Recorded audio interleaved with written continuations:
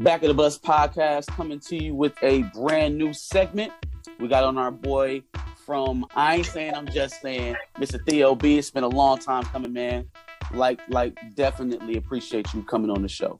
Man, I appreciate it, man. It, like I said, when you when y'all reached out to me, man, it's a huge honor. Thank y'all so much. Uh, older brother, younger brother coming together. I love it. I love it. For sure. For sure. So let's do it, man. Let's dig into issue one of Black Panther. It's written by John Ridley, pens by Juann Cabal, and colors by Frederico Blee. Beautiful cover. Yes, Fire sir. cover. Fire cover.